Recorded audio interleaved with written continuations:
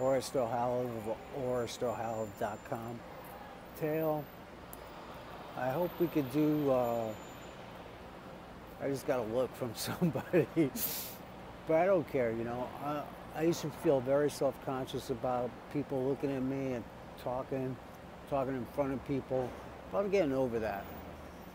When, when I was a Diamond, I got up on stage as much as I possibly could. There's a Diamond Mastermind event which I attended in Cancun, Mexico from uh, September 24th through October 4th. It was 10 day, 10 day, 11 night, 10 day uh, of workshop where I learned everything there is to know, the, the basics and fundamentals of online marketing, you know, so that I could teach you guys and guide you along the way. Love y'all.